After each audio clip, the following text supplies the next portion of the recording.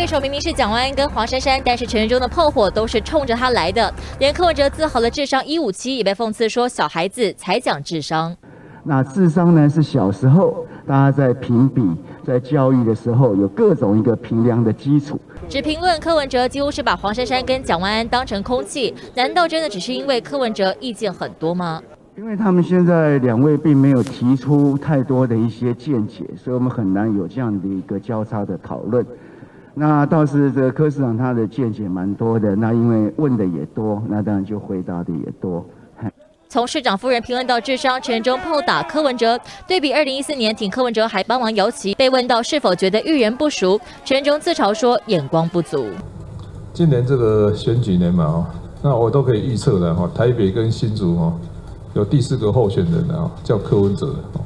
自嘲成为北竹第四个候选人，就是因为跟陈中杠上了。福院党从上到下万箭齐发，要凝聚的是可能会被黄珊珊吸走的浅绿选票。那这也没办法，因为。因为我以前跟民进党并肩作战过嘛，所以对他们的选战非常的熟悉了。这大都当年林锦昌教我的，哦，那所以他们的策略就是，哦，不管在台北或新竹哦，就全部猛攻柯文哲，哦，那我们来来边缘化其他的候选人，这是他们一个一个基本战法。所以，哦，你们就自己去玩吧，不理你。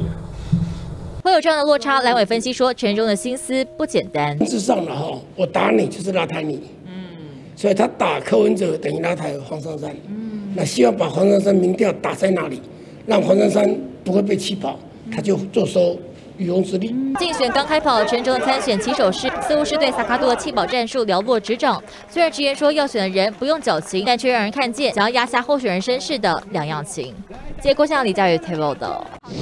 睡眠问题的话，可以来试试看我们旺旺推出的这个梦梦水，睡前三十分钟喝上一包，就可以让大家清爽无负担。告诉大家在哪里购买，这个地方有我们 QR code，扫描一下就可以到快点购网站上头来购买。这里呢有我的推荐代码 CTI 三二一，要请大家多多支持。